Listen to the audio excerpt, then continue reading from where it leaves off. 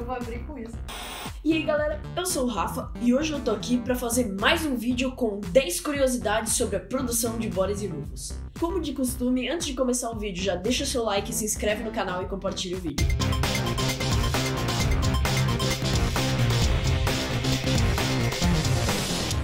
A primeira curiosidade é que o episódio A Corrente do Mal foi o primeiro a ser animado aqui nos estúdios Belly. Mais de 110 pessoas de diversas áreas trabalharam na produção da primeira temporada de Boris e Rufus. Boris e Rufus estreou na Disney XD no dia 2 de janeiro de 2018. Os brinquedos da série produzidos pela Estrela estarão à venda ainda este ano. A empresa que produziu o áudio de Boris e Rufus já concorreu ao Oscar pelo longa O Menino e o Mundo.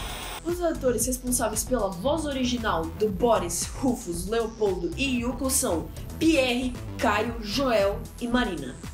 Este ano, a empresa que produziu a animação de Boris e Rufus completou 20 longos anos.